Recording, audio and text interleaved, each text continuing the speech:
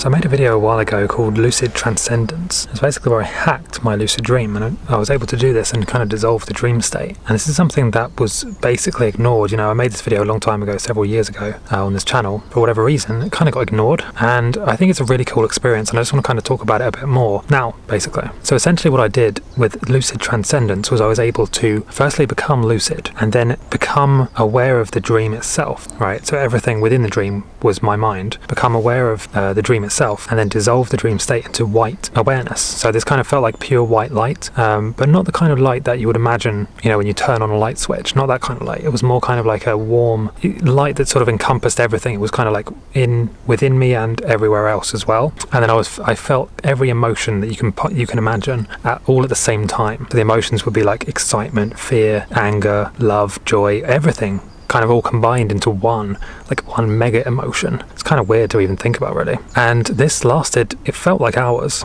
But realistically, it was probably just a few minutes. And I've spoken about time dilation and stuff like that. You know, it's just kind of crazy when we get into timelines and alternate dimensions and all this kind of stuff. It felt like a long time. It felt like several weeks hours and weeks, but really it was just me being aware of the dream scene, and that's why I called it lucid transcendence because I was I kind of transcended or rose rose above the main dream scene, the main lucid dreaming experience. And I just wondered if anyone else has had an experience like this. If you've done something like that, where you're you're kind of lucid, so you start off by being lucid, but then you kind of dissolve the dream, so you're not you're not really seeing anything. There's no dream scene or dream characters at this point, but you're not awake yet either. You're kind of in this in between state where you're not lucid. Well, you are lucid, but you're not really seeing much of a dream, and so your subconscious is not really putting in those stimulus from its memories and things like that, but you're also not awake either. So you're kind of in this in between state where you're completely aware, I would say more aware and more clear and conscious, more focused at least than I am in waking life, but I was still asleep. Very weird experience. So I just wondered if anybody else has had something like that. And I think what this shows is that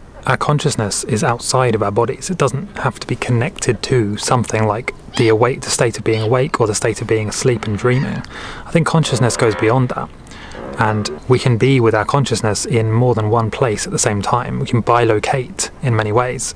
And I think we're only really now starting to become aware of the possibilities of what we can actually do. I think this is going to become more and more kind of obvious as time goes on.